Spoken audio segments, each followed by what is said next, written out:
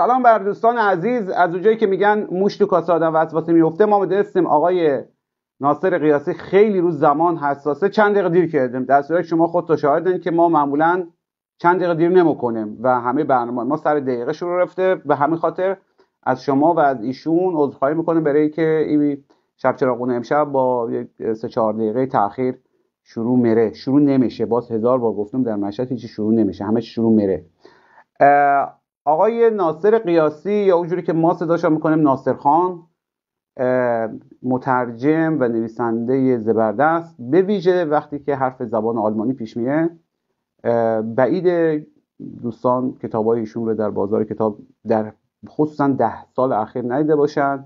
ناصر خان خیلی فواید و ویژگی های زیادی داره.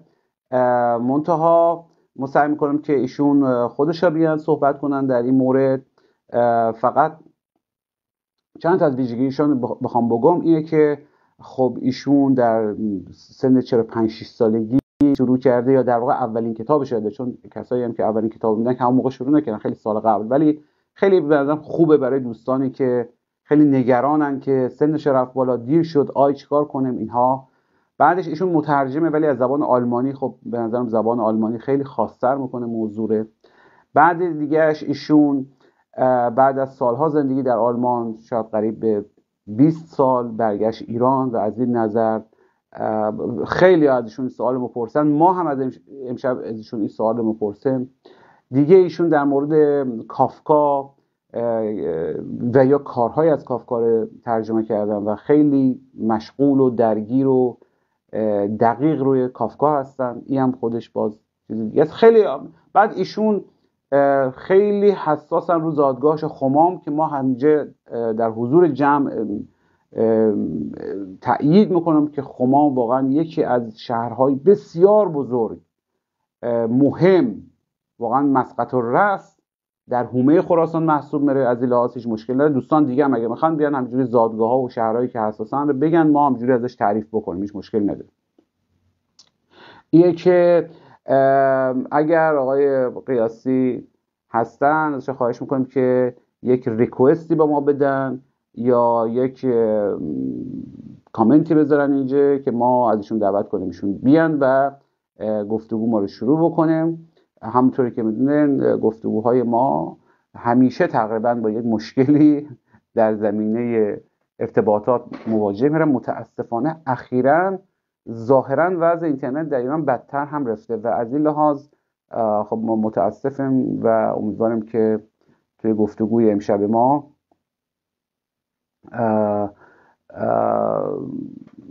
پیش نیاد. دوستان سوال می‌پرسم چشم سوالات رو دارم می‌بینم و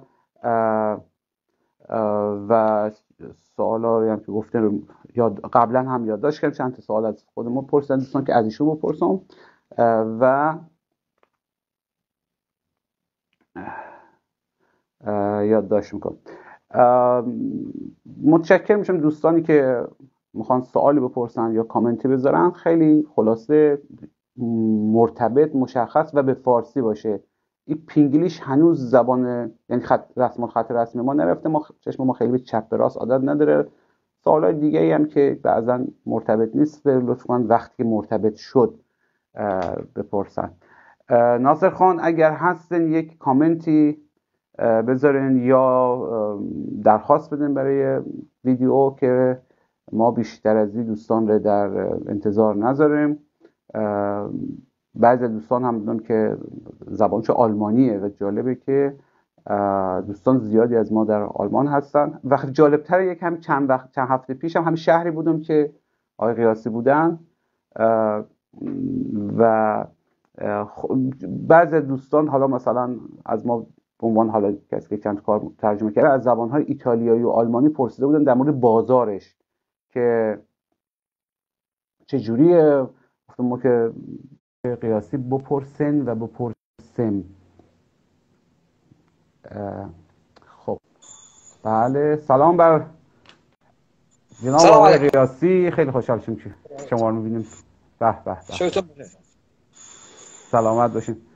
آقا ما تا شما بیاین شما رو یک مختصری معرفی کردیم. البته برای دوستان اهل کتاب که شاید زیاد نیاز نباشه معرفی بکنیم و روز یعنی پیش از منبر ما رفتیم دیگه. الان مجلس گرمه که ما تحویل شما بدیم. شما. آقا شما میشه این کامنت رو چیز بکنید ببندید که من مزاحم من نشه؟ آه چشم. البته مراهمن دوستان ولی خب بله، باشه از بله. حواس رو پرد می‌کنم. شما ماشاءالله ما مشهدی ها غیر سر اصل مطلب می‌رفتیم همچی رو کراست حرف ما رو می‌زنیم. ماشاءالله شما هم پیرو هستین خیلی رک بود حرف من؟ البته با مقیاس های خمام و هایدلبرگ و اینا نه خیلی چیز نه. ولی ما معمولا به کامنت ها ما مثلا نمیگیم مزاحم ما نرن اینا.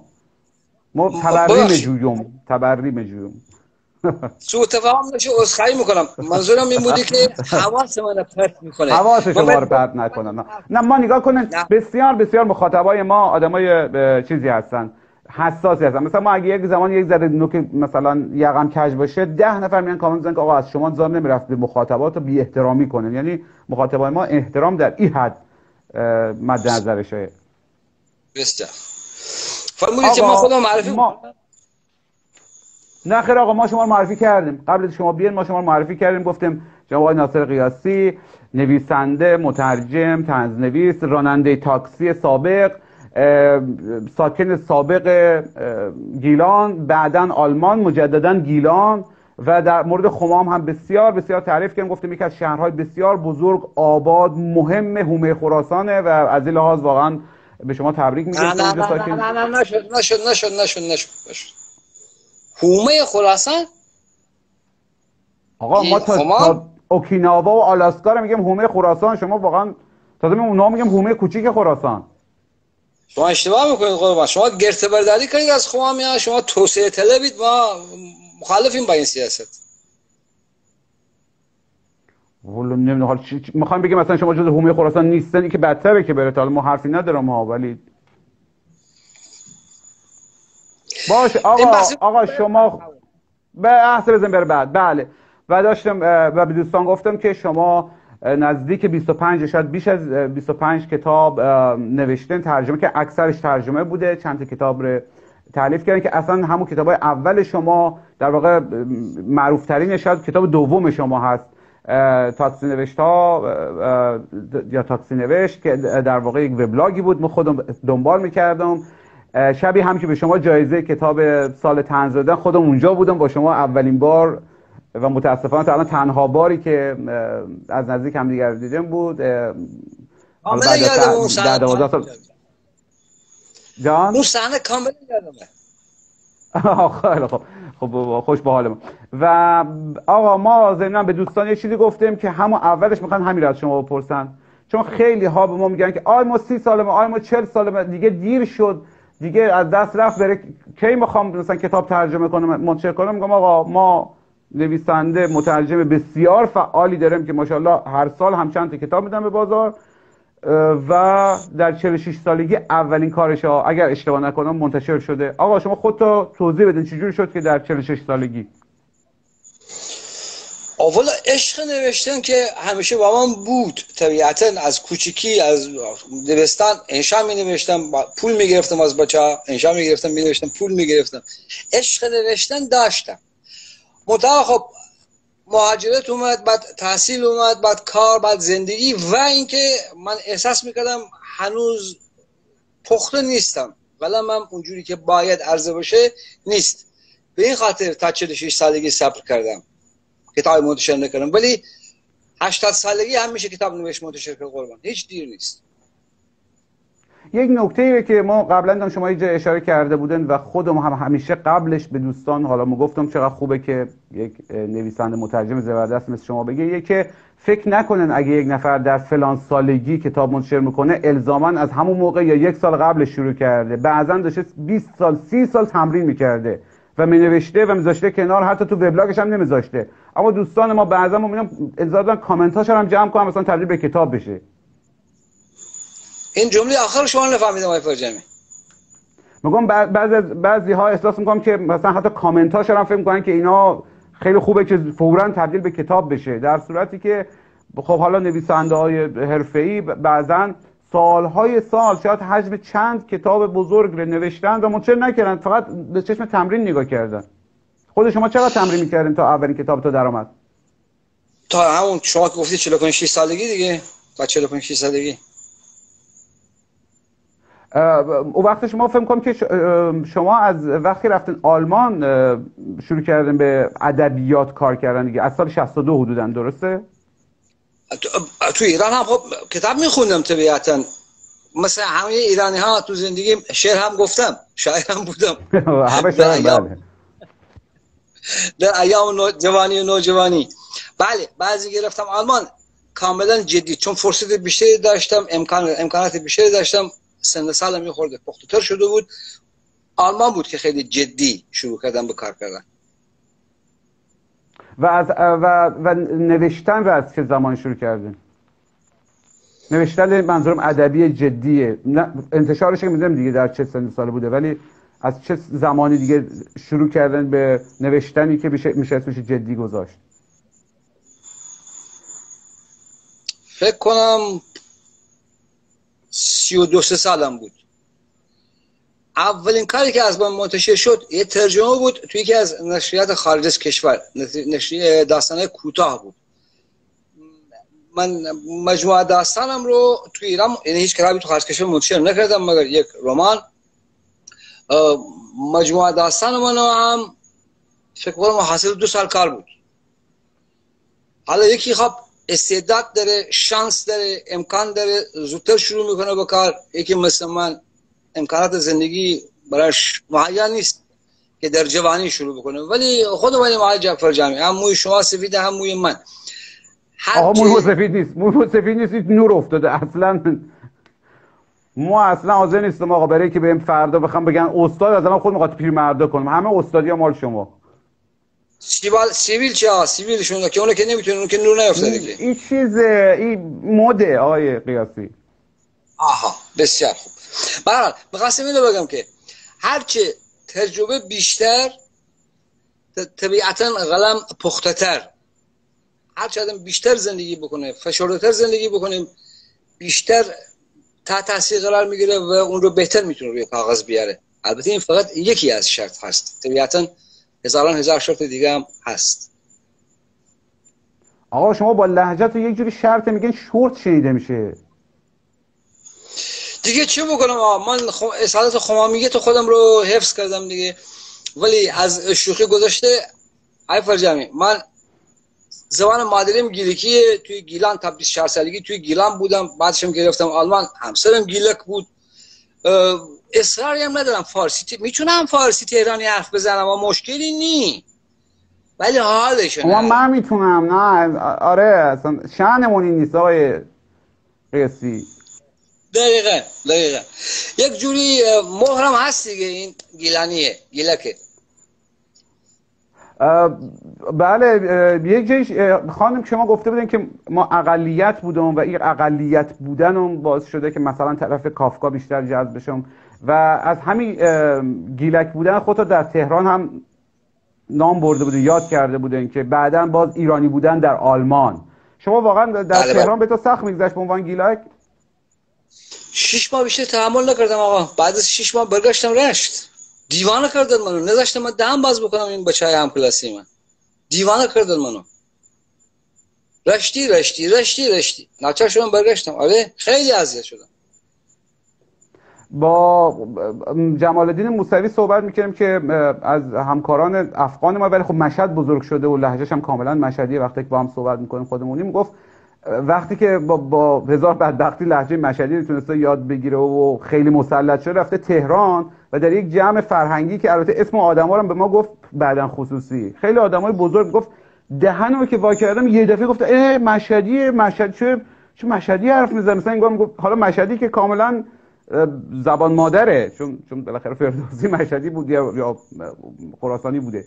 و همیشه به دوستانی که مثلا خیلی منالن به خصوص مثلا دوستان ترک یا آذری زبان ما همیشه میگم که فکر نکنید فقط شما رو مسخره کردن ها. ماها که فارسی یا نزدیکتر به فارسی معیار صحبت می‌کردم همین بساط بوده. همینطوره. برای برای دوستانی که نمی‌دونم بگم که اولین کاری که از آقای قیاسی منتشر شد در سال 83 ایشون متولد 36 هستن دیگه. خودت تا ماشین حساب بذارین حساب بکنه رقص بر بام استراب بود. یعنی حتی میشه گفت شما 46 هم رد کرده بودین که منتشر شد. ولی به سرعت کتاب های ناصرخان قیاسی مورد استقبال قرار گرفت. به خصوص اون تاکسی نوشت که خب جایزه هم برد و حالا جایزه که اصلا مهم نیست. خب مثلا یکی از ادبی واقعا قشنگ بود. خیلی طنز لطیفی داشت و داره تاکسی نوشت دیگر هم بعدش منتشر شد. بعدش هم ایشون چون نمی‌خواست تاکسی نوشت نویس بشه دیگه ادامه نداد قیاسی و بیشتر روی ترجمه متمرکز شد. آقا پس شما هیچ سن سالی رو برای مترجم شدن نویسنده شدن به معنی که کار آدم بیاد تو بازار دیر نمی‌دونه نه؟ اصلا و ابدا به هیچ وجه. و جالبه در سنی که خیلی از ما فکر کنیم دیگه وقت بازنشستگی و دیگه دراز بکشه به نسبت شما رو به قبله شما شروع کردیم ماشاءالله تحقیقات و الان حداقل دیگه حالا وجود که مفهرست کنیم 20 تا کتاب خوب از آلمانی اکثرا از آلمانی ترجمه کردن به فارسی که به ویژه کارهایی که در رابطه با کافکا هست باز بیشتر مورد استقبال قرار گرفته. درسته؟ همینطوره همینطوره. بله. علتش هم اینه که آیفر جان من چند سالی دیگه به طور حرفه‌ای کار می‌کنم. یعنی شغلم کارم محل درآمدم همه چیزم عبارت از نوشتن و ترجمه کردنه. من این شانس رو دارم خدا را شکر که مجبور نیستم یک کار دیگر داشته باشم در کنار کار, نوشتن. اغلب نویسنده ها و مترجمین متاسفانه باید یک شغل دیگر داشته باشن که زندگیشان بگذره. بعد در کنار او بنویسن یا ترجمه بکنن. من خدا را شکر این شانس رو داشتم که چند سالی متمرکز. کار دیگری نمی کنم جز خواندن نوشتن ترجمه کردن. شغلم یعنی در واقع اینه. منتها شغل شما قبلا این نبود دیگه. شما اگر اشتباه نکنم در هایدلبرگ یا احتمالا قبلش برلین در برلین که مطمئنم که رشته ادبیات آلمانی خانه ولی بعد در دست کمی دو شهر آلمان زندگی می‌کنه و راننده تاکسی بودن درسته؟ دو شهر نه همون برلین بود فقط. بله. برلین بود برلین. اول شما رفتین اونجا بدون که احتمالا مثل خیلی ها یک برخلاف خیلی ها یک کلمه آلمانی بلد باشن رفتن آلمان و بعدش تحصیل کردن در رشته زبان آلمانی درسته؟ میگه خیلی زبان سختیه. بله همینطوره. یعنی همینطوره که به ترتیب من آلمان گرفتم حتی الفبای آلمانی هم نمی‌دونستم. مطلقا هیچی نمی‌دونستم. آلمان رو توی آلمان یاد گرفتم. بله. ادبیات آلمانی خوندم. این تصور غلط موجوده که برخی فکر می‌کنن که شما میری آلمان مثلا ادبیات می‌خونی زبان و ادبیات می‌خونی. نه دانشگاه شما باید زبان بلد بوده باشی مثل یک آلمانی که بری دانشگاه بشینی. سر کلاس ادبیات. حالا تصور بکنید من مثلا بعد از 4 5 سال رفتم اونجا رفتم سر کلاس ادبیات معلم در حرف می‌زدم پروفسور در حرف می‌زدم من چیزی حدود 70 درصدش نمیفهمیدم اوایل چون فقط گراماتیک که نیست که انبوهی از واژه هم باید یاد گرفت. تو هایدلبرگ دیگه کار تاکسی نکردم نه. از برلین که رفتم بعد از 20 سال 15 سال هم هایدلبرگ بودم تو هایدلبرگ مطلقا دیگه کار تاکسی نکردم. اونجا اگر خیلی خصوص چی کار می‌کردم اونجا؟ همین خواندن نوشتن کار کوچولویی مثل رانندگی مثل نگهبانی مثل نمی‌دونم آخرین کاری که کردم چی بود؟ نگهبانی بود فکر کنم. کارهای کوچولو موچولو که واقعا در حاشیه بود. واقعا در حاشیه بود. بله. ولی قبول دارین که بعضی از این کارها به خصوص کارهای مثل راننده تاکسی کار در کافه کارهایی که بیشتر آدم با آدمای دیگه با آدمای او فرهنگ ارتباط داره خیلی تجربه انسان رو غنی می‌کنه برای نوشتن کتاب نوشتن داستان برای رمان یا فانتزی یا fiction حالا به قول انگلیسی ها. بله. همینطوره.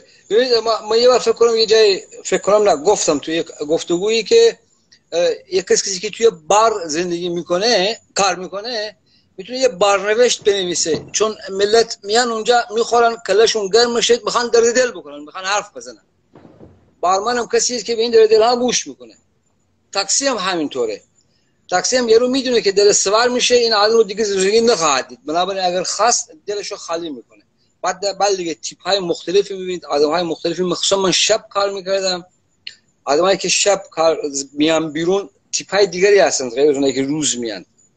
از این بابت بله به تجربه تجربه بسیار غنیه هم برای یاد گرفتن زبان هم برای آشنا شدن با فرهنگ اون کشور. یک سوالی که مطمئنم از شما صد, صد یا صدها بار پرسیده شده که این تاکسی نوشت ها چقدرش واقعیه و چقدر تخیلیه؟ ما برای اون 200 مثلا 45 جمین بار هم باز از شما این سوال رو می‌پرسیم مشکلی نیست قربان مثل همه کتاب های داستان دیگر از هر نویسنده دیگری حاصل تخیل و واقعیته یا دوستان برام تعریف کردن من در اونها دست بردم. یا برای خودم یه اتفاقی افتاد توی تاکسی فکر کردم ها این می‌تونه داستان بشه ازش داستان ساختم. تک و توک یکی دو تا هستم که کما بیش عینا تو واقعیت اتفاق افتادم. بقیه حاصل تخیله. تخیل و واقعیت. یک یک نکته جالبی تو بگم که در سال 85 بود فکر می‌کنم یا شاید قبلش ما برای یک رادیوی یک سری داستان نوشتم به نام راننده تاکسی در واقع اصلا اسمی نداشت فقط فقط صحبت هیچ هم خاطره نبود همش داستان بود. منتها نمایشنامه رادیویی بود. و بعد از او کار شما رو خواندم. و بعد از کار شما خواندم به خودم فکرم ای این کار رو هم میشه تبدیل به داستانش کرد. دقیقا همون کارها رو تبدیل به داستان کردیم که شد راننده تاکسی در واقع چون اسمی نداشت فرستاده بودن ارشاد ناشر روش زده مثلا راننده تاکسی رفته به اسم راننده تاکسی مجوز گرفته و به نشر نی منتشر کرد. و و بله.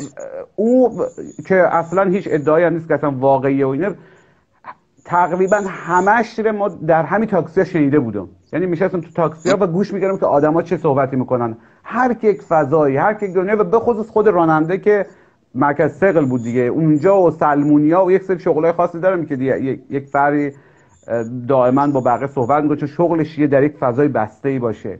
و فکر کنم مثلا مبدع ژانر اگه اسمش بشه گفت ژانر در زبان فارسی شما باشن اگر حمله بر خصوص تعیینشه بله. بله با اجازه بزرگتر بله. آقا ما می‌خوام یک سوال ما می‌خوام یک سوال ناگهانی از شما بپرسم. اگه دوست دارین جواب بدین. اگه دوست ندارین جواب ندین. ولی چون اسم برای چون ما در شب چراغون همیشه اسم آدمای دیگر نمی‌بریم ولی چون شما در عموم نوشتین در public منتشر کردن می‌خوام این ماجرای شما آقای میلانی ببخشید. آقای معروفی چی بود آقا؟ در برلین و یک مشت تخمه و نصف شب و اینها یه برا ما تعریف بکنه. چون خب در public نوشته شده می‌پرسم من بله توی فیسبوک نوشتم و موقع وبلاگ داشتم وبلاگ نوشتم الان اینجا میگم. عباس معروفی آدم بسیار بسیار کمک بکنید یک واژه محترمانی توهین آمیز بگم. محترمانی توهین آمیز یک واژه چی میشه گفت؟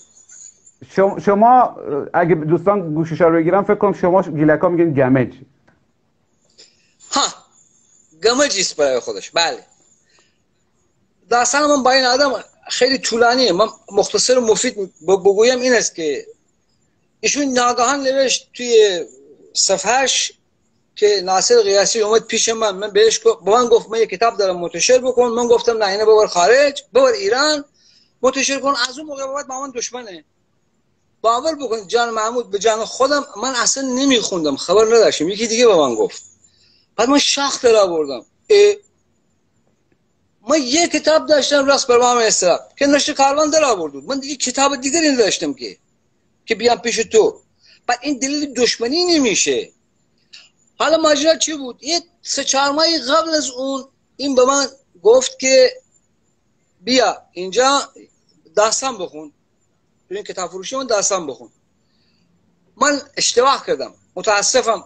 اشتباه بزرگ تاریخی زندگی من بوده قبول کردم نگو این بعدا از این ماجراها خواهد ساخت یک شب من داشتم کار می‌کردم از اون رد شدم دیدم این چراغ روشنه برای همین که مثلا فردا شب برنامه هست چه بکنیم چه نکنیم رفتم دو کاری کار می‌کنی او آره دیگه ما تصاب کار می‌کنی بعد رفتم اونجا نوشت که ایشون خودش دید که من ساعت دو شب اومدم دارم کار می‌کنم خب مرد سعی من داشتم کار می‌کردم دیگه منم پشت تاکسی بودم دیگه بعد حالا چون تو نویسنده کار می‌کنی یا ناشری کار می‌کنی مثلا اون گارسون چی اون پاسوان چی اون پزشک چی اونم دارن شب کار می‌کنن دیگه مال تو مثل مقدسه یه اتهامات دیگه به من زد که دیگه من دیگه یقه یقه دارندم دیگه جوش دارم یه سوء تفاهمی شد این وسط اونم اینه که این یک مزخرفی نوشته دیگه میگم مزخرف معروفم هست من تو را دوست دارم چون چای با KitKat چای نعنا با KitKat من آمدم اینو مسخره بکنم نوشتم بله تقصیر منه. ما شب که آمدم آخه باود یکی آدم میاد. گفت که من برای من آمد تو من برایش نخود کشمش گذاشتم روی میز گفتم بخور. آقا قرن بیست و یکم تو قلب برلین نخود کشمش کجا بود؟ چه دروغ میگی؟ دروغ به این علنی میگی؟ باری. من آمدم اونجا توی فیسبوک نوشتم که تقصیر من بود. اون من برای تو KitKat آوردم. تو با تو الهام شد تو اون شعر رو نوشتی. سه تا نقطه شعر رو نوشتی. حالا البته آقا یعنی شما دو تا آدمی که بالاخره تو ادبیات مشهور هستن و بالاخره هواداران سخت ساده مشکل تا نخودچی کیش و چای و فلان بوده یا یک مشکل بزرگتری داشتیم؟ ببخشید مپرسم تو که اون در شأن شما ها نباشه این صحبت ها آقا همون زمانی که من نوشتم توی فیسبوک چندین و چند نفر اون پشت برای من نوشتن که بله این از ما پو... آه الان یادم آمد. یک آقای اگر اشتباه نکنم به اسم کاوی دهگان. یک کتابی فرستاده بود برای معرفی چاپ بکنه آقای معرفی چاپ نکرده بود. یه عکس رو توشیل براش فرستاده بود چقدر پول ازش گرفته بود. این اعتراض کرده بود. اونم در جواب اعتراض این گفته بود که من روزی 3 یورو فقط پرتقال می‌خورم. تو پول تو رو می‌خوام چیکار؟ یا آقا اینها رو علنی کرده بود. توی فیسبوک توی نمی‌دونم کجا گذاشته بود من دیده بودم. این باعث شد که معروفی یک بار دیگه بالا من ببیچه که هر هر کی قیاسی باش من با من دشمنه قیاسی باش دوسته. یه چیزی به این مضمون. یه سری دروغ دیگه هم گفته بود. آقا اصلا حال به هم زنه چی بگم آخه؟ من آقا ولش کنیم. ما ما آره ما اشتباه کردیم. واقعا عذرخواهی می‌خوام. واقعا ما فکر کنیم یک موضوع ادبی بوده بین شما بزرگواران و خب واقعا می‌بینم که موضوع بیشتر بیادبی بوده. حالا آقای معروفی هم امیدوارم که اگه دیدن اگه دوست داشتن چه با بیانیه پاسخیه چیز دارن. ما برمیاد ما در خدمت نباید وارد جریانات می‌شدیم ولی یادم هست که حالا موضوعی که دوستاشون بهش بپرده موضوع انتشار آثار در خارج از کشور بود. چون تو خاطر بود که این دعوا به خاطر انتشار کتاب در خارج از کشور نه نخوتی کشمی کشمی شد کیتکت و تیتاب پیش آمده بود. و می‌خواستم از شما پرسم به عنوان نویسنده که شاید بیشتر عمر حالا مفید ادبیش دیگه. بالاخره معمولا آدم از 20 سالگی و شروع میشه دیگه. باز هم الان هم حساب کنیم چرکه بزنیم خارج از کشور بوده. این مشکل چاپ آثار در خارج از کشور شما چجوری می‌بینید؟ تلاش کرده بودین در زمانی که خارج بودین کارهای رو چاپ بکن به خصوص که مثلا خب یکی از ناشرای معروف بالاخره چند تاشا در آلمان هستن در کلن هستن حالا در برلین. و, و این برای ما جالبه که شما بعد از سالها کار در خارج از کشور بازم این کار در ایران چاپ می‌کنه برای که اولا پوبلیکوم ما مخاطب ما تو ایرانه. خارج نیست. نکته اوله. نکته دوم اینه که همون گونه به نسبت جمعیت که تو ایران کتاب نخان داریم تو خارج کشور هم همینه. فکر می‌کنم حدود 4 میلیون میگن خارج کشور آدم زندگی می‌کنه ایرانی زندگی می‌کنه. یا 10 میلیون نمی‌دونم چقدر. تیراژ کتاب 50 تا آقا. یعنی 50 نسخه به فروش میره. تیراژ که نداریم 50 نسخه به فروش میره. اب یک نویسنده که دو سال سه سال پنج سال میشینه یک رمان می‌نویسه 50 نسخه خیلی غم انگیزه بنابراین من تصمیم گرفتم 50 نسخه نه هزار تا باشه چرا کتابم تو ایران هزار تا است 1300 1500 تا من تصمیم گرفتم که کارامو تو ایران منتشر بکنم یک رمان فقط تو خارج کشور منتشر کردم اون فکر کنم سی سی پنج تا خریدند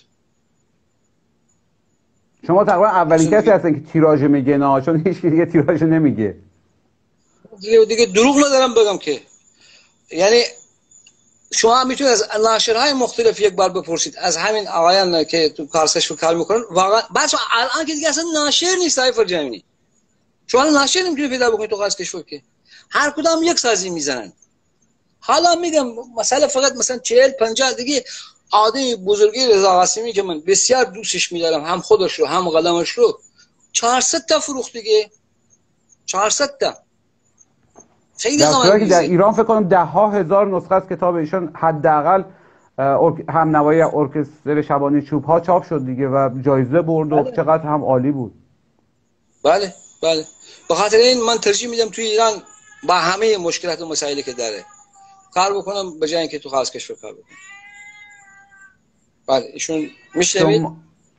بله بله. اگه میشه بیارینش آقا ما با دوستان نداریم ها. ما بعد ما به دوستان گفتیم کسی که اگه گربه ها رو بله. دوست نداره اصلا ما رو هم انگار دوست نداره.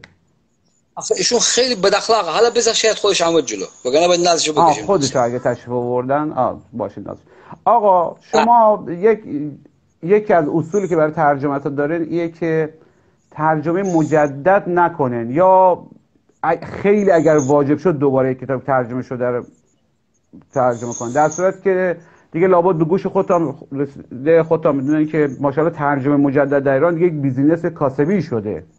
ایره ما که خارجیشین بدبختیم آقا شما که در اون قلب ماجرا هستن در پایتخت خمام چی کار باید بکنیم این ترجمه مجدد ره بقیه جا جمعه همینجوریه مثلا در آقا میگم در پایتخت خمام. آقا شما به خمام حساسه نه؟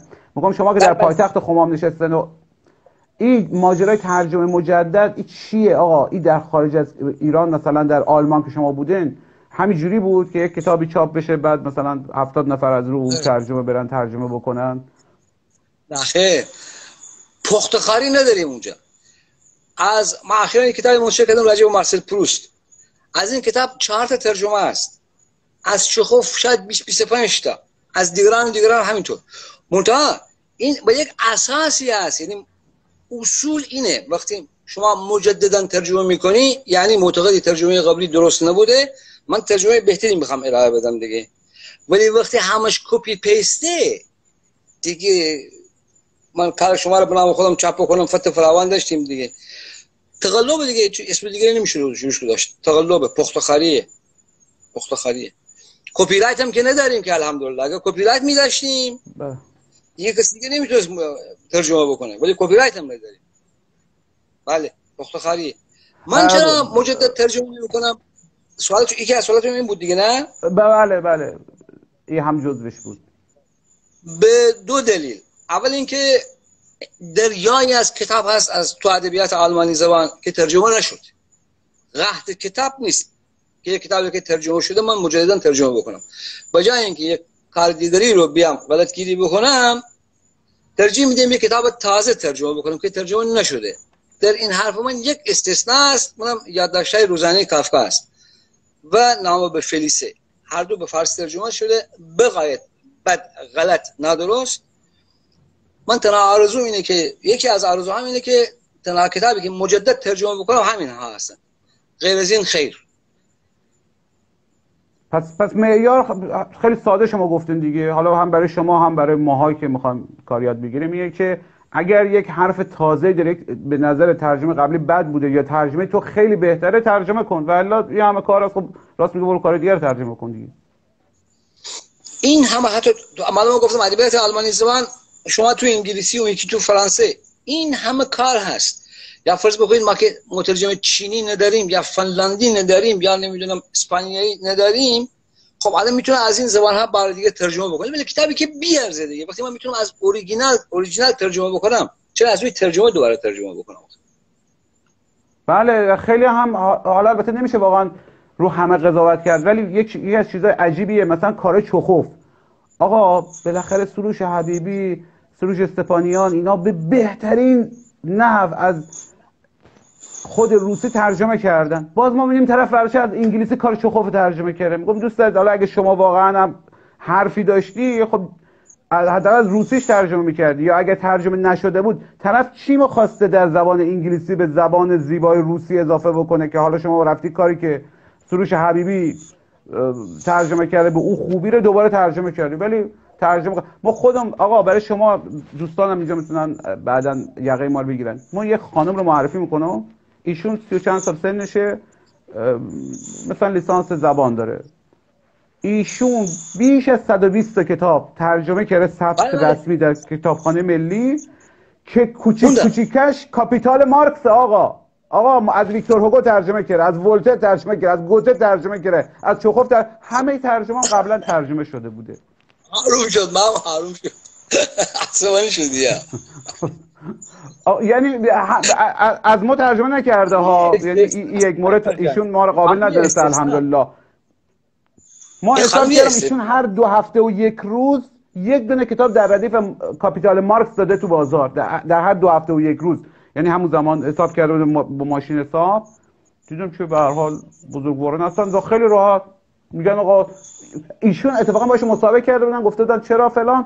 گفته بود ترجمه اگه کسی یک ترجمه رو اضافه بکنه یا بهتر همین حرف شما رو زده بود. حرفش درست بود. ولی سوال ما بود که دوست عزیز خب ترجمه شما چه copy paste بود از دیگران؟ بعد شما در دو هفته نمی‌دونم کار مثلا ولتر و مولیر و اینا رو از چند تا زبان؟ همه رو ترجمه کرده دیگه. ترجمه‌ش بهتره. ایشون یه استثناء آقای اوضاع دیگه به این نه نه هم زیاد داریم آقا. آقا باور کن از استثنا ما حداقل 20 تا 30 تا مترجم نمی‌تونم پیدا بکنم. حتی بعضیاشون آدمایی هستن که مثلا شما دیدم ها یعنی آدم محترمی هن. یعنی حالا اگر مسئله حرفه رو بذاریم کنار یکی از اینا یه آقای سن بالاییه و خانم هیچی. اصلا ما هر چی کتاب از شنیدم قبلا ترجمه شده. منتهیشون چون باز مثلا آدم محترمی سنش بالاتره افراد میگن بله خب استاد.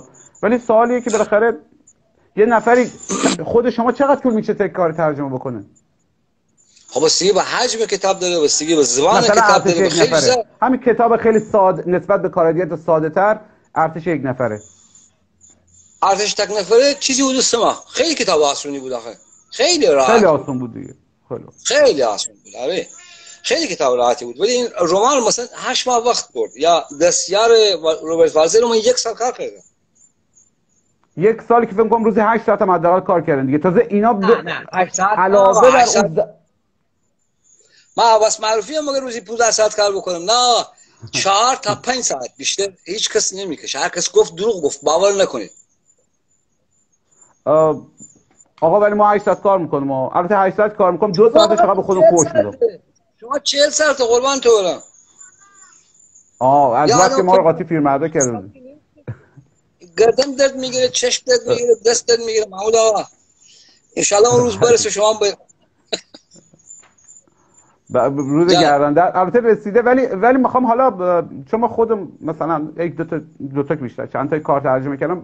بعد دوستان فکر وقتی جوش می‌زنم برای ترجمه الزاما دارم جوش خودم می‌زنم. نه واقعا کار سنگینیه. یعنی همین 4 5 ساعت که شما میگین تا کسی نشسته باشه پای ترجمه و بدونه که چقدر این تمام سلولای مغز آدم درگیر میشه. چون به یک زبان دیگه داری فکر می‌کنی درک می‌کنی و, و باید به یک زبان دیگه درش بیاری. حالا زبان آلمانی که خیلی هم سخته. یک زمان می‌خواستم فکر بودم مثلا مهاجرت کنم به آلمان یک دوستی در کل ما رو گفت آقا نیا گفتم چیه؟ مثلا مشکلی هست. گفت آقا این زبان سخت نمیارزه که بیای وقت بذاری براش کار یاد بگیری. نه آقا نه نه. آلمانی زبان سختی نیست. آل- آلمانی زبان بسیار بسیار اولا دقیقیه.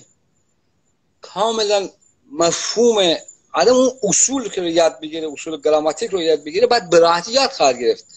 من انگلیسیم در اون حد نیست که اظهار نظر بکنم. اما شنیدم میگن آرام شما انگلیسی رو راحت یاد می‌گیری ولی هر چه که جلوتر بری مشکلتر میشه. آلمانی برعکسه اوایل سخته. ولی بعد دیگه آدم بیفته تو جریان راحت یاد می‌گیره. اون دوست شما احتمالا خودش زبانش خوب نبوده. خوب نبود. نه واقعا خودش هم گفت گفت آقا مثلا ما الان چند سال اینجا ما می‌ریم کلاس و خیلی هم اتفاقا مهندس موفقی بود و بسیار باسواد یعنی اصلا با ویزای کاری رفته بود آلمان. انقدر که مثلا بله. صنایع خودش مشهور و موفق بود ولی خب طفلکی مثل ما استعداد زبان نداشت. ما از دوستان عزیز خ...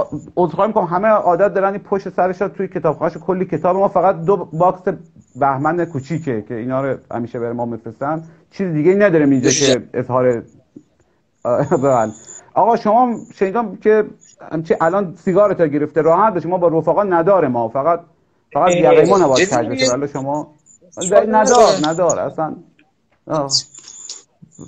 آقا فیلم های قدیمی داشتم نگاه می‌کردم یکیشو بود مال مثلا دهه 50 میلادی استاده تو کلاس داشت سیگار می‌کشید شاگرداش هم داشتن سیگار میکشیدن تو کلاس. گفتم یا مثلا تبلیغ سیگار کمل که دکتره سر تو مطب داره سیگار می‌کشه حالا نه اونجوری نه اینجوری که یه اینقدر دوستان بعضا حساسن. خب آقا سیگار رو روشن کردم وقتش راجع به کافکا صحبت کنیم. اصلا این چی میگه ای آقای کافکا؟ برید چی اقدر راجبش کتاب می‌نویسن. الان محمود آقا من دارم نامه های کافکا به خارش ترجمه می‌کنم. الان موقع اینجا نشون میدم چون کتاب اینجاست. دارم نامه های کافکا به خارش ترجمه می‌کنم. یه جایی میگه که به خارش می‌نویسه من غیر از اون چی که حرف می‌زنم فکر می‌کنم. غیر از اون که باید فکر بکنم فکر می‌کنم. و غیر از اونجوری که باید زندگی بکنم زندگی می‌کنم. این آقا یک تیمارستان متحرک بوده در یک کلام. شاید عجیبم نباشه که باز یک نابغه تیمارستان متحرکی مثل مثلا صادق هدایت انقدر جذبش میشه و شاید به فارسی سبانا برای اولین بار معرفیش می‌کنه.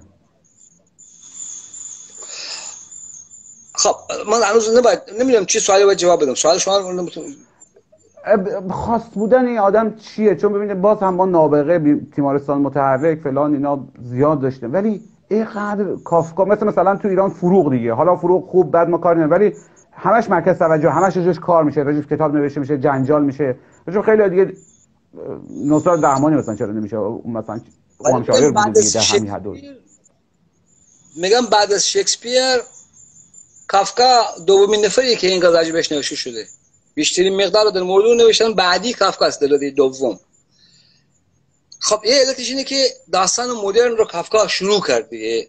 اولین داستان مدرن رو کافکا نوشت. مدرنیسم با کافکا شروع شد. علت دیگه اینه که تقریبا تمام گوشه کنارهای زندگیش روشنه.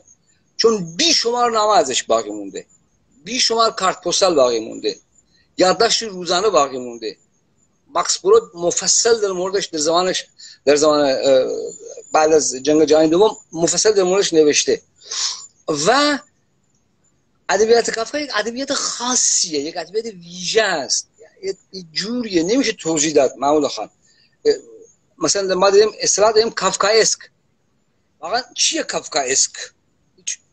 تعریف دقیقی نمیشه کرد خب تشابهات می احتمالا سوال بعدی اینه که هدایت.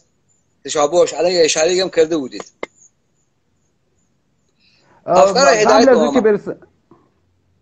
بله قبل از اون که کافکا بالاخره اهل چک بوده دیگه و, و به آلمانی می نوشته مثل حالا شاید خیلی های دیگه این ای چه یعنی ای که یک نفر که تقریبا خارجی محسوب میشه و شاید زبان مادریش آلمانی نباشه به آلمانی می نوشته یک تعم و بوی داره یک حالی داره یا نه؟ صرفا نوشته دیگه. کافکا چهار تا غلط معروف داره. توی نامه هاش توی نوشته چهار تا غلط. حالا شما چون آلمانی بلد نیستین دوستان ما ممکن بلد نیستن من لازم نیست توضیح بدم. چی؟ ولی چهار تا غلط معروف داره. یعنی من واقعا وقت موقع بخوام ترجمه بکنم باید حواسم باشه این یکی از اون غلطا نباشه. آلمانیش آلمانی بسیار راحتیه. می‌دید شاید توضیح لازمه. زمانی که کافکا زندگی می‌کرد در زمان حیات کافکا قبل از جنگ جهانی اول مجارستان و اتریش و چکسلواکی اینا همه یه امپراتوری بود. امپراتوری مجارستان بود. اقلیت های مختلفی توی زندگی می‌کردن. مجاری اتریشیا که اکثریت بودن مجاری بعدی. بعد می‌شد چکسلواکی چکا و اسلواکی خانواده کافکا یک اقلیت آلمانی زبان یهودی بود. یعنی هم زبانش با زبان کشورش فرق می‌کرد کشوری که زندگی می‌کرد هم دینش. دو عامل بسیار مهم. زبان سردی داره ولی اونجوری نیست که آدم احساس بکنه که یه خارجی داره میشه چون زبان مادریش بوده دیگه به تو دانشگاه آلمانی پراگ هم تحصیل کرده. یعنی تحصیلش به زبان آلمانی بوده.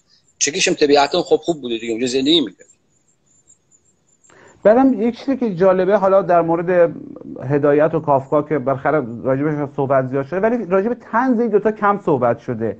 هم هدایت رو به خیلی جوری نمایوندن که یک آدم افسرده یه نیمچه دیوانه یا حال بالاخره نابغه اصلا. ولی همیشه رو افسردگیش روی که خودکشی کرد روی که مثلا خیلی از کاراش مثل بوفکور و اینا یک نگاه سرد و تیره داره. به ما معرفی کردن قافل از اینکه شاید بهترین تنزای چند دهه اول ایستاده که هستن در ادبیات فارسی شاید اصلا در کل ادبیات مدرن ما هدایت نوشته. و همینطور در مورد کافکا. کافکا مثلا شما به هر کسی که یکی دو تا از کاراش خوانده باشه یا در موردش شنیده باشه ولی دقیق نباشه. بگن فقط میگن که این یک آدم خیلی سرد و مثلا معیوس و اینایی بود. ولی قبلا دیدم که شما خودتون راجع به کافکا و تنز کافکا صحبت کرده بودین. بله. در مورد هدایت خود موجان تنز نویسی می‌دونی دیگه یک اون ور سکه تنز یعسه یا سرخوردگیه یعنی میگم دپرسیونه. تنز نویسی معمولا چیز اونوری هم دارن گاهی میان طولک که مدتی در داغون میشن کافکار اینجوری هم باید و فکر می‌کنم کافکار به عنوان یک آدم تناز بسیاری می‌شناسن دیگه معروفه دیگه که هیچ کس از مطلقاش در امان نبود از غیر معلوم یا از شوخیهاش در امان نبود کافکا هم آدم معیوسی بوده اما فقط آدم معیوسی نبوده آدم شوخی هم بوده معروفه که وقتی داشته رومانش رو با تو جمع برای که از دوستانش میخونده غاه غاه میخندیده. این داستان حکم رو داوری رو. اون پدر حکم کنه پسر رو که برو خوش محاکمه. وقتی اینو میخون به دوستانش میخندید.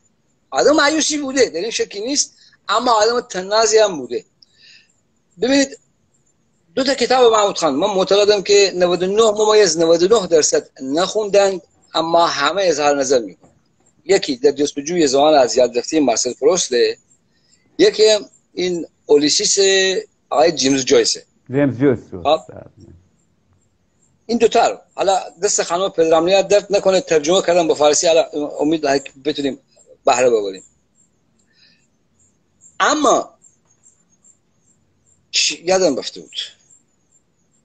در مورد محاکمه صحبت می‌کردم جنبه جنبه تنظامیز کارهای کافکا و احتمالا اینکه بعضی از کاراش بعضی نخواندن. یادم آمد کافکا از اون تیپایی است که اغلب نخوندند. یعنی من دارم در مورد هموطنان عزیز ما صحبت می‌کنم. یادداشت های روزانه کافکا رو واقعا شما ورمیزی نمی‌فهمید چی داره میگه. خب اوایل خود بنده می‌گفتم کافکاست دیگه چیزی نوشته من نمی‌فهمم. من سوادم نمی‌کشه. قافل از اینکه ترجمه ترجمه غلطیه. ترجمه ترجمه نادرستی. خود مترجم نفهمیده این جمله که من نوشتم یعنی چی. بعد بنا کافکا به با خورد ما داده بخ... به این دلیل کافکا غلط معرفی شده. این درست معرفی نشده. چند نفر از این بچه‌ای که میگن کافکا آدم مایوس بدبخت فلان فلان فلانی بوده یادداشت‌های روزانه‌شو خوندن. دو تا رمانشو خوندن. تعداد بسیار کمی. اونی هم که ترجمه شده ترجمه خوبی نبوده مشکل دو است. بنابراین هر زیاد حرف زدم ببخشید. کافکا آدم بدبینی بوده معیوسی بوده اما نابغه‌ای بوده بسیار شوخ. خب شما... خود شما حالا چه, چه در مورد کافکا که خب می‌دونم هم کار متشکم و هم در دست یا تو برنامه دارین که انجام بدین. ولی روز تنز در زبان آلمانی ما واقعا کم داریم. مثلا شما هم کارهای تخولسکی اگر درست درست تلفظ بکنم تخولسکی خب بله. خیلی تنز خوبیه. اصلا و شاید همزمان با کافکام بوده باشه دیگه. مال اوایل قرن گذشته هستن. بله. خیلی کم ترجمه شدن. یا مثلا همین نامه های کافکا البته به اون راستش بخوام رو نخواندم ولی کارهای دیگه رو خواندم که اینقدر ترجمه بده آدم میگه آقا برای چی مبادی رو بخوانم بذارم کنار امیدوار باشم یه نفر ترجمه بهتری بکنه. چون بالاخره. اکثر کتابخونه حرفه‌ای می‌فهمن که یک ترجمه ترجمه بدیه دیگه. جمله بندی ها ناجوره مفهوم نیست. وقتی مترجم خودش نفهمه به نظرم محاله که مت... خواننده جدی نفهمه که مترجم خودش نفهمیده بوده که داره چی ترجمه می‌کنه. هر چقدر وارد باشه که جملات رو چجوری مثلا سرتاش به هم بیاره. شما چرا از تنز آلمانی ترجمه نمی‌کنید بذار معبود اونو بگم. من فکر می‌کنم که هر مترجمی یک بار جمله خودشو بخونه به دقت به این انقدر صلاحت داشته باشه که بگه این جمله مفهوم نیست. ما از این لحاظ مشکل نخواهیم داشت. برخی از این دوستان ما همجوری می‌زنن میرن. من چرا از آلمانی تنز ترجمه نکردم؟ چون آلمانی تنز نداره بردم آقا داره دیگه برادر من این آقای توخلسکی شما توخلسکی شما یک دوره خاصی زندگی می‌کرد. اغلب شو به لحجه برلینی نوشته. و مختص همون زمان. یعنی شما برای فهم یک داستان یک داستان یا باید کلی از تاریخ آلمان ما اون موقع آلمان رو بدونی. از آدمایی که نام می‌بره. نه اینکه تنز نویس نداره ولی ما خودمون دیگه درگاه تنزیم دیگه ایرانی ها که قربانش برم دیگه همه تنزم بله. واقعا بجد دیگه مثلا زیره با کرمان برده من از آلمانی تنز ترجمه بکنم. ولی اینو جدی میگم. جدی میگم آلمانی تنز خب بالاخره شما بالاخره شما صاحب نظر در زبان آلمانی ولی خب به نظر ما مثلا حالا شاید ما یکم فنی تر می‌بینم این که یه آدمی مثل ما که تقریبا براش امکان نیست که دیگه الان برای آلمانی یاد بگیرن که مثلا با طنز کشوری آشنا بشن. یا اولویت نیست چون بالاخره باید ایتالیایی و اینا هم همه هست. به نظرم او همون تنزی که به نظر ما میاد که ضعیف هم هست یا, یا در مقابل تنز زبان فارسی بسیار غنی خیلی غنی نیست. یا شاید مخاطب فارسی زبان اصلا نتونه بخندونه. خوب باشه ترجمه کنیم که یک کلکسیون یک گنجینه یک ویترینی داشته باشیم از تنز دنیا. الان مثلا جسته گریخته خب بله مثلا تنز ایتالیایی خیلی خیلی به مذاق ما خوش میاد. تقریبا کسی نیست که مثلا دون کامیلو رو بخونه مثلا لذت نبره و خیلی بعیده در آلمانی کم چیز تنز بامزه داشته باشیم. ولی بدم نیست که بالاخره چند تا نمونه قوی از یک مترجم زبردست که خودش هم تنز نویس مثل شما داشته باشیم که در مورد آلمانی هم بالاخره در حد اطلاعات داشته باشیم دیگه. ان در زندگی آینده محمود خان. نه آقا نه همین الان ما همین امشب می‌خوام شما رو یقه کنیم. آقا ما آقا ما مشهدی نگاه کن شما بازار رضا رفته باشین تا جنس نخری که نمی‌ذارم بیه بیرون که. ما هم همین امشب می‌خوام از همون دو دست شما یکیش آقا مال خودت یکیش هم بزنیم بر طنز آلمان دو تا کتاب برای ما دیگه. به گل روی ما ترجمه کنن دیگه. بر روی چشم بر روی چشم. دست شما در نکنه. آقای قیاسی و باورت بشه یا نشه خیلی زود یک ساعتی که ما قرار با هم صحبت کنیم تموم شد. به نظر خودم که ساعت نگاهیم تعجب کردم. فکر کنم 10 دقیقه با هم صحبت می‌کنیم. عذرخواهی می‌کنم از دوستانی که کامنتاشو باز ندادن آقا بدین کامنت رو باز کن چون ما تا حالا کامنت رو نبسته بودیم اینقدر طولانی. روی صورت ما شما میاد. قبل از اینکه حالا کامنت های بیشتر رو بخوانیم در همین یکی دو دقیقه وقت داریم یکی از دوستان سوال پرسیده بود حالا شاید خیلی به شما مربوط نباشه ولی به هر حال چون پرسیدم از شما بود. گفته بودن که راسته که در اروپا برای نشر مجدد آثار کلاسیک باید دوباره مجوز گرفت. حالا اگر اطلاع داره نیده جواب بده شما. خود تو اروپا مجوز نداریم که. مجوز یعنی چی؟ هر که هر چی می‌خواد چپ می‌کنه دیگه. احتمالاً منظورش کپی رایت بوده. ولی فکر می‌کنم که همچنان قانون باشه که سی سال بعد از درگذشت صاحب اثر کپی رایت حذف میشه. درسته؟ کپی رایت من می‌دونم آلمان هست 45 سال سوئیس اگر اشتباه نکنم 35 سال. هر کشور با کشور دیگه فرق می‌کنه. هر کشور با خودش قانون خودش ده. بله بله مثلا حالا اون جایی که ما بودیم و باشه سر کله می‌زنیم 30 سال بود دیگه که 30 سال بعد از بله. مرگ مؤلف. بله بله. یک بعد از یک سال دیگه آزاد میشه و می‌تونن چاپ بکنن. آقا سوال پرسیدن که شما معمولا با کدوم ناشرا کار می‌کنین؟ احتمالا می‌خوام برن دنبال کاراتا و بگیرن. با کدوم انتشاراتی ها کار کردین؟ با کاروان که دیگه موجود نیست نشر چشمه حوز نوره سالس ولی الان 5 6 سال دیگه هر چی کتاب در میارم با نشر نوه. و از این بعد فقط با نشر نو خواهد نشر نو. خب همه ناشرام که معتبر و امیدوارم که نشر نو هم کتابای شما رو خیلی خوب و مرتب بده به بازار چون همونجوری که مطلع هستن خود چاپ کتاب و ترجمه شو اینا یک حرف باز پخشش یک حرف دیگه است. مثلا خیلی از کتابا پخش نمیشه و اینا که امیدوارم اون مشکل به شما نخوره. اگرم خورد شما بالاخره در اونجا مسقط و رأس خمام هستن و مثل ما نیست دستتا به جا نرسه.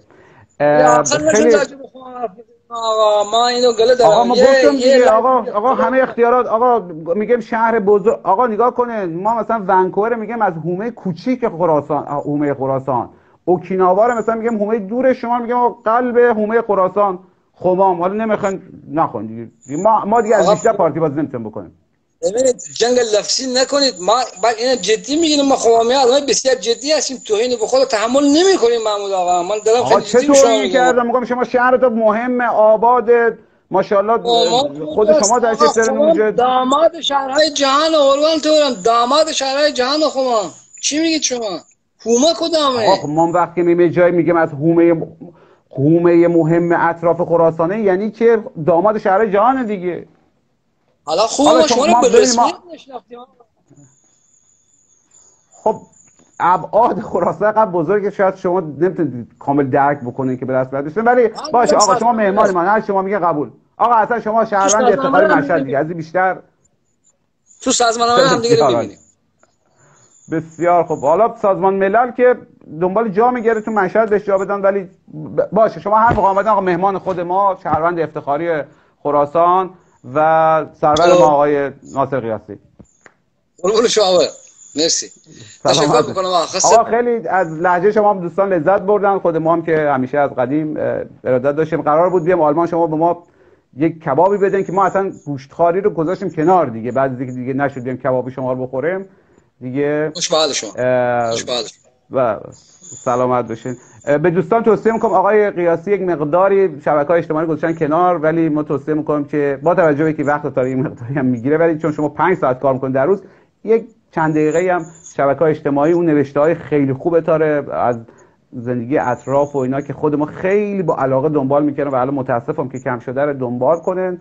دوستان هم بالاخره اگه دوست داشتن فالو تا کنن درخواست بکنن. ما هم گوشه کنارها استفاده بکنیم. قربان شما. دست شما در نکنه محمود خان. انشالله یه بار بار دوم همدیگه رو حضوری ببینیم آقا. قربون شما. خیلی متشکر و شب شما بخیر و خیلی ممنون از دوستان که با خدا خدا